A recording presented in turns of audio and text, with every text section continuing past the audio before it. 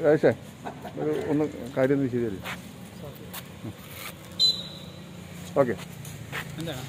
ഒന്ന് ഇന്നത്തെ പ്രോഗ്രാമിനെ കുറിച്ച് രണ്ടു നമ്മൾ ഇന്ന് പരിസ്ഥിതി ദിനത്തോടനുബന്ധിച്ച് പാലക്കാട് ഫയർ സ്റ്റേഷന്റെ കീഴിൽ പ്രവർത്തിക്കുന്ന സിവിൽ ഡിഫൻസ് വോളണ്ടിയർമാർ ഇരുപതോളം വോളണ്ടിയർമാർ ഇന്ന് നമ്മുടെ പാലക്കാട് ജില്ലയിലെ പ്രധാനപ്പെട്ട പൊതുനിരത്തുകൾ സിവിൽ സ്റ്റേഷൻ പരിസരം അതുപോലെ തന്നെ ഐ എം എ ജംഗ്ഷൻ ഓട്ടമൈതാനം മൈതാനം പിന്നെ നഗരസഭാ കാര്യാലയം ഹോസ്പിറ്റൽ ജംഗ്ഷൻ തുടങ്ങി പ്രധാനപ്പെട്ട ജനത്തിരക്കുള്ള പൊതുനിരത്തുകളിലെ ആളുകൾ ഉപയോഗിച്ച് ഉപേക്ഷിച്ചിട്ടുള്ള മാസ്കുകൾ കയ്യുറകൾ എന്നിവയൊക്കെ ശേഖരിച്ച് അത് ഡിസ്പോസ് ചെയ്യുന്നൊരു പരിപാടിയാണ് നമ്മൾ ഏറ്റെടുത്തിരിക്കുന്നത്.